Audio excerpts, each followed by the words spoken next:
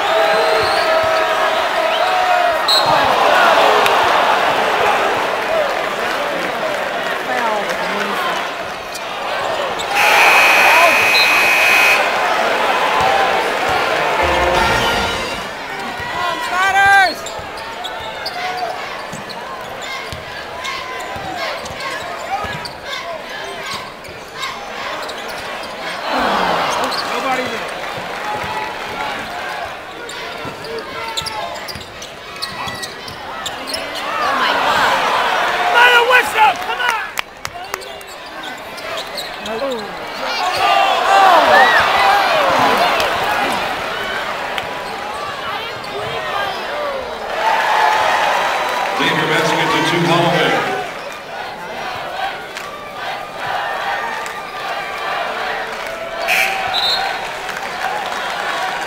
Taylor enters the game for Xavier, replacing Kenny Frease.